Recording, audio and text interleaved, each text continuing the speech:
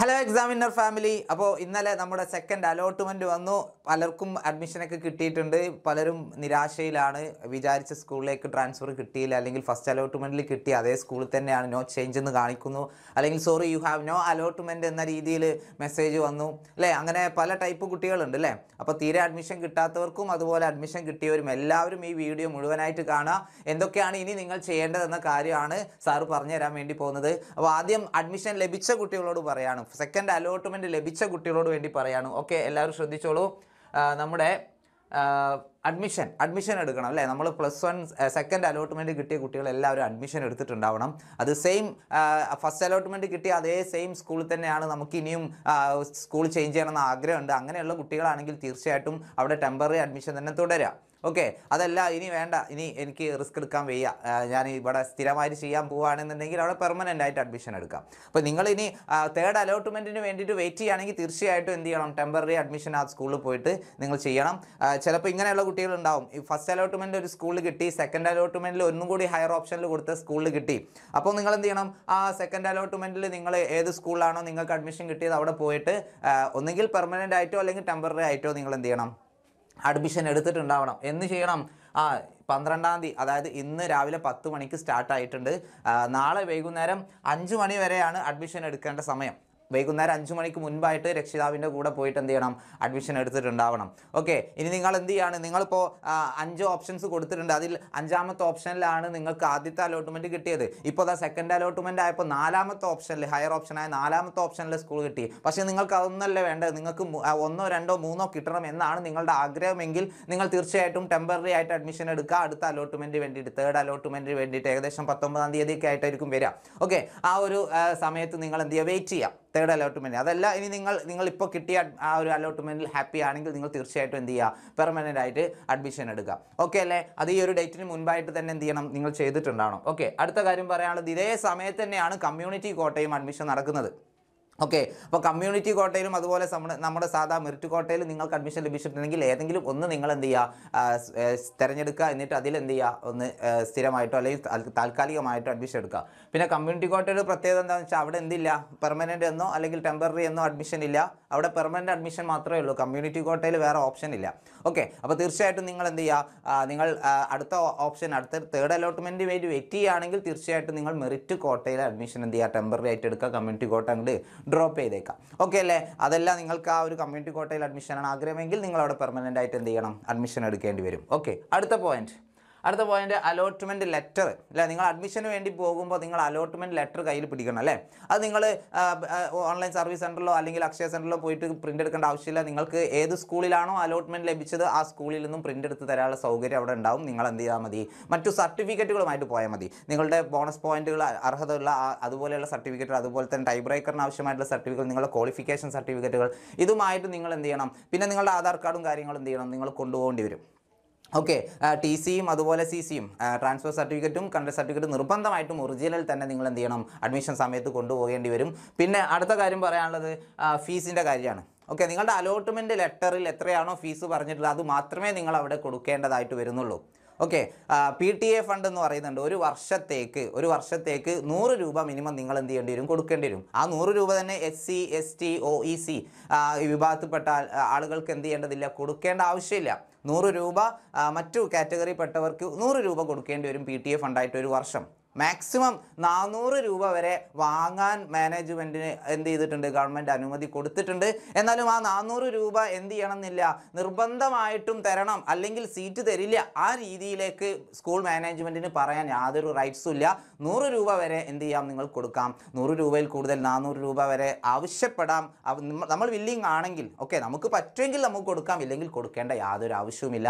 അതിന്റെ പേരിൽ നിങ്ങളെ ഭീഷണിപ്പെടുത്തുക. അങ്ങനെ എന്തെങ്കിലും ഉണ്ടെങ്കിൽ നിങ്ങൾ ഡയറക്റ്റായിട്ട് എന്ത് ചെയ്യാം? കംപ്ലൈന്റ് ചെയ്യാവുന്നതാണ് ഓക്കെ അല്ലേ? അപ്പോൾ ആ ഒരു കാര്യമാണ് ഫീസിന്റെ കാര്യത്തിൽ പറയാനുള്ളത്. നിങ്ങളുടെ അലോട്ട്മെന്റ് ലെറ്ററിൽ ഒരു ഫീസ് പറഞ്ഞിട്ടുണ്ടാവും. ഓക്കെ സയൻസ് ഗ്രൂപ്പിന് ഒരു ഫീസ് അതുപോലെ തന്നെ മറ്റു കൊമേഴ്സ് ഹ്യൂമാനിറ്റീസ് ഗ്രൂപ്പിന് വേറൊരു ഫീസ് അങ്ങനെ ഉണ്ടാവും. സയൻസിന് പ്രത്യേകം ഫീസ് ഉണ്ട് അല്ലേ ഒരു അൻപത് രൂപയൊക്കെ എക്സ്ട്രാ വരും. അതിന് പുറമെ പി ടി എ ഫണ്ട് ഉണ്ടാവും. പി ടി എ ഫണ്ടിൽ നൂറ് രൂപ മാൻഡാറ്ററി ആണ്. അത് S C S T O C വിഭാഗക്കാർക്ക് വേണമെന്നില്ല. മറ്റു വിഭാഗക്കാർക്ക് നൂറ് രൂപ മാൻഡാറ്ററി ആണ് നിർബന്ധമായിട്ട് കൊടുക്കേണ്ടി വരും. അതിനപ്പുറത്തേക്ക് നാനൂറ് രൂപ വരെ ആവശ്യപ്പെടാം. അത് നിർബന്ധമില്ല എന്നാണ് പറഞ്ഞത്. ഓക്കെ ഇനി അലോട്ട്മെന്റ് ലഭിച്ചിട്ടും നിങ്ങൾ അഡ്മിഷൻ എടുത്തിട്ടില്ലെങ്കിൽ എന്ത് സംഭവിക്കും? എന്ത് സംഭവിക്കും? യെസ് അലോട്ട്മെന്റിലേക്ക് ഇനി നിങ്ങളെ പരിഗണിക്കില്ല. നിങ്ങൾക്കിപ്പോൾ സെക്കൻഡ് അലോട്ട്മെന്റിൽ നിങ്ങൾക്ക് അഡ്മിഷൻ കിട്ടി. അല്ലേ നിങ്ങൾ അലോട്ട്മെന്റ് കിട്ടി. പക്ഷേ നിങ്ങൾ താൽക്കാലികമായിട്ടോ അല്ലെങ്കിൽ സ്ഥിരമായിട്ടോ നിങ്ങൾ പ്രവേശനം നേടിയില്ലെങ്കിൽ നെക്സ്റ്റ് അലോട്ട്മെന്റിലേക്ക് തേർഡ് അലോട്ട്മെന്റിലേക്ക് നിങ്ങളെ പരിഗണിക്കില്ല. നിങ്ങളെ അപേക്ഷ റിജക്റ്റ് ചെയ്യും. H scap dot Kerala dot G O V dot in എന്ന സൈറ്റ് നിങ്ങൾ എന്ത് ചെയ്യും? തള്ളിക്കളയും. പിന്നെ നിങ്ങൾക്ക് ഒരു സ്കൂളിൽ നിങ്ങൾക്ക് പിന്നെ അഡ്മിഷൻ കിട്ടില്ല. അതുകൊണ്ട് അഡ്മിഷൻ ലഭിച്ചിട്ടുണ്ടെങ്കിൽ അലോട്ട്മെന്റ് ലഭിച്ചിട്ടുണ്ടെങ്കിൽ തീർച്ചയായിട്ടും നിങ്ങൾക്ക് ഇഷ്ടമാണോ ഇഷ്ടമല്ലേ? അതൊന്നും നോക്കേണ്ട. നിങ്ങൾ തീർച്ചയായിട്ടും അവിടെ പോയിട്ട് അഡ്മിഷൻ എടുത്തിട്ട് എടുത്തിട്ടുണ്ടാവണം. താൽക്കാലികമായിട്ടെങ്കിലും. ഓക്കെ അല്ലേ? യെസ് അടുത്ത പോയിന്റ് ലാസ്റ്റ് സയൻസ് ഇതുവരെ അപേക്ഷ കൊടുക്കാത്തവർക്കും. അതുപോലെ തന്നെ എന്തെങ്കിലും തെറ്റായ വിവരങ്ങൾ നൽകിയത് കാരണം അലോട്ട്മെന്റ് ലഭിച്ചിട്ടും സീറ്റ് കിട്ടാത്തവരുണ്ടാവും അല്ലേ? ഫസ്റ്റ് അലോട്ട്മെന്റിലും സെക്കൻഡ് അലോട്ട്മെന്റിലും ഒക്കെ ഞാൻ കഴിഞ്ഞ ഒരു സ്റ്റാറ്റിസ്റ്റിക്സ് കാണിച്ചിരുന്നു. ഞാൻ ശ്രുതി മിസ്സും പറഞ്ഞ ഒരു വീഡിയോ ഇല്ലേ അല്ലേ? ഒരുപാട് അപേക്ഷ ഡിനൈഡ് ചെയ്തു. അല്ലേ? ഒരുപാട് അപേക്ഷ തള്ളിപ്പോയി. കാരണം അവർക്ക് ആവശ്യമായ സർട്ടിഫിക്കറ്റുകൾ ഉണ്ടായിരുന്നില്ല. അങ്ങനെ അപേക്ഷയിൽ നിന്നും പിന്തള്ളപ്പെട്ടവരും അതുപോലെ ഫൈനൽ കൺഫർമേഷൻ കൊടുക്കാതെ വളരെ ഇമ്പോർട്ടന്റ് ആയ കാര്യമായിരുന്നു അല്ലേ? ഫൈനൽ കൺഫർമേഷൻ കൊടുക്കാതെ എഡിറ്റ് കൊടുത്തിട്ട് ഫൈനൽ കൺഫർമേഷൻ കൊടുക്കാതെ അപേക്ഷയിൽ നിന്ന് തള്ളപ്പെട്ടു പോയ ആളുകളുണ്ട് അല്ലേ? അങ്ങനെയുള്ള കുട്ടികൾക്കൊക്കെയുള്ള ഒരു ലാസ്റ്റ് ചാൻസ് എന്ന് പറയുന്നത് തേർഡ് അലോട്ട്മെന്റിന് ശേഷം. എപ്പോഴാണ്? തേർഡ് അലോട്ട്മെന്റിന് ശേഷം സപ്ലിമെന്ററി അലോട്ട്മെന്റ് വരും. ആ സപ്ലിമെന്ററി അലോട്ട്മെന്റിൽ നിങ്ങൾക്ക് എന്ത് ചെയ്യാം? ആ, രണ്ടാമത് വീണ്ടും അപേക്ഷ കൊടുക്കാം. അപ്പോൾ അതിൽ സ്കൂളുകളിൽ എത്രയൊക്കെ സീറ്റുകൾ വേക്കൻസി ഉണ്ട് വേക്കൻസി ആണെന്നുള്ള കാര്യങ്ങളൊക്കെ ഡീറ്റെയിൽ ആയിട്ട് തന്നിട്ടുണ്ട്. അതിനനുസരിച്ച് നമ്മൾ അപേക്ഷ എന്ത് ചെയ്യണം? ഒന്നുകൂടി റീഅറേഞ്ച് ചെയ്യേണ്ടി വരും. അപ്പോൾ അതുവരെ നിങ്ങൾ വെയിറ്റ് ചെയ്യേണ്ടി വരും. ഇതുവരെ അപേക്ഷ കൊടുക്കാത്തവരും അപേക്ഷ കൊടുത്തിട്ട് അലോട്ട്മെന്റ് കിട്ടി പക്ഷേ തെറ്റായ വിവരം കൊടുത്തത് കാരണം അഡ്മിഷൻ ലഭിച്ചില്ല. അങ്ങനെയുള്ള കുട്ടികളും പിന്നെ ഫൈനൽ കൺഫർമേഷൻ കൊടുക്കാത്ത കുട്ടികൾ. ഇങ്ങനെയുള്ള കുട്ടികൾ തീർച്ചയായിട്ടും തേർഡ് അലോട്ട്മെന്റിന് ശേഷം വരുന്ന സപ്ലിമെന്ററി അലോട്ട്മെന്റ് വരെ എന്ത് ചെയ്യുക? വെയിറ്റ് ചെയ്യുക. ഓക്കെ ഇനി ഇതാണ് ഇപ്പോൾ സെക്കൻഡ് അലോട്ട്മെന്റിന് ശേഷമുള്ള ഒരു സ്റ്റാറ്റിസ്റ്റിക്സ് എന്ന് പറയുന്നത്. ഞാൻ അത് നിങ്ങൾക്ക് കാണുന്നില്ലെങ്കിൽ ഞാൻ പറഞ്ഞുതരാം. എന്താണ് ഇതിന്റെ അവസ്ഥ എന്ന്. അപ്പോൾ ഈ ഒരു ടേബിളിൽ കാണുന്നത് ആകെ പതിനാല് ജില്ലകളിലായി എത്ര എത്ര സീറ്റുകളാണ് ബാക്കിയുള്ളത് എന്നുള്ള ഒരു കാര്യമാണ് ഇവിടെ കൊടുത്തിട്ടുള്ളത്. ഓരോ ജില്ല തിരിച്ചു. തിരുവനന്തപുരം കൊല്ലം പത്തനംതിട്ട തുടങ്ങി കാസർഗോഡ് വരെയുള്ള ജില്ലകളിൽ എത്ര സീറ്റുകളാണ് വേക്കൻസി ഉള്ളത് എന്നുള്ളതാണ് ഇവിടെ കൊടുത്തിട്ടുള്ളത്. ഓക്കെ അപ്പോൾ എല്ലാവരും ശ്രദ്ധിക്കുക. ആകെ ടോട്ടൽ എത്ര സീറ്റുകളുടെ ബാക്കിയുണ്ട്? തിരുവനന്തപുരത്ത് നാലായിരത്തി നാൽപ്പത്തെട്ട് സീറ്റുകളുണ്ട്. അതുപോലെ ഓരോ ജില്ലയിലും ഇപ്പോൾ എട്ടായിരത്തി അൻപത്തേഴ് സീറ്റുകളാണ് കോഴിക്കോട് ജില്ലയിൽ ബാക്കിയുള്ളത്. പതിനാലായിരത്തി അറുന്നൂറോളം സീറ്റുകൾ എവിടെയുണ്ട് മലപ്പുറം ജില്ലയിലുണ്ട്.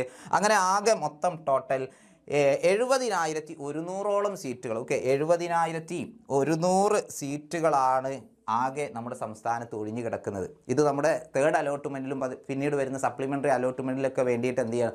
ബാലൻസ് ഉള്ള സീറ്റുകളാണ് അല്ലേ?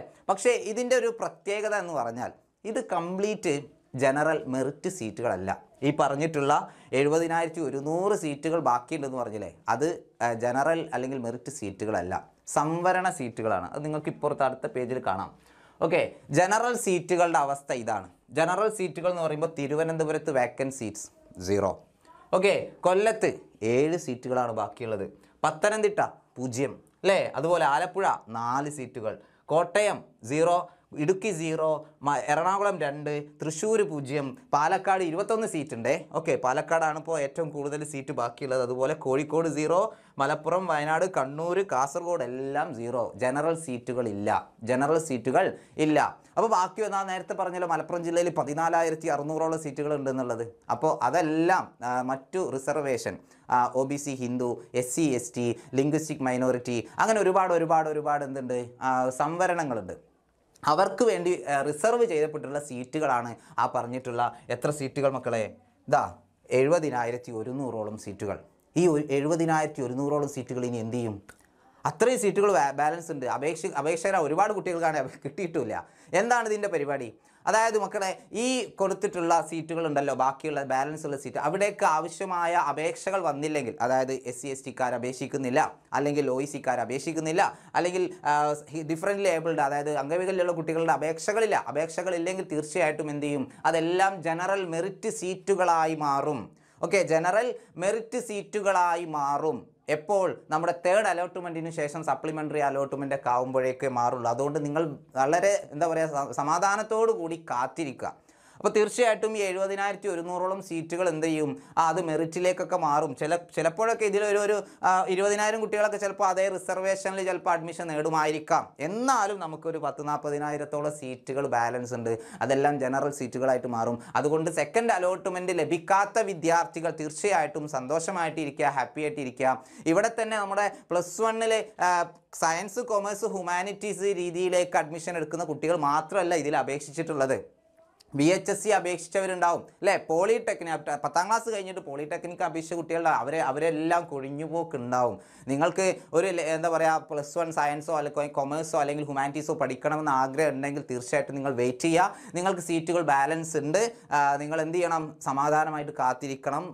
After third allotment third allotment wait wait wait ചെയ്യുക. അത് കഴിഞ്ഞിട്ട് സപ്ലിമെന്ററി അലോട്ട്മെന്റ് ഉണ്ടാവും ഓരോ സ്കൂളിന്റെയും എത്ര എത്ര സീറ്റുകളാണ് അവിടെ ബാലൻസ് ഉള്ളത് എന്നുള്ള വിശദമായിട്ടുള്ള കാര്യങ്ങൾ നമ്മുടെ സൈറ്റിൽ വരും. H S cap dot Kerala dot G O V dot in എന്ന സൈറ്റിൽ വരും. അപ്പോൾ എല്ലാവരും സമാധാനമായിട്ട് ഇരിക്കുക കിട്ടിയവർക്ക് എല്ലാവർക്കും കൺഗ്രാജുലേഷൻ കിട്ടാത്തവർ നിരാശപ്പെടേണ്ടതില്ല. എല്ലാവർക്കും ഉദ്ദേശിച്ച ആ ഒരു രീതിയിൽ സ്കൂളിലും അതുപോലെ ആ ഒരു സബ്ജക്റ്റൊക്കെ കിട്ടട്ടെ എന്ന് ആശംസിക്കുന്നു. അപ്പോൾ എല്ലാവർക്കും ഓൾ ദി ബെസ്റ്റ്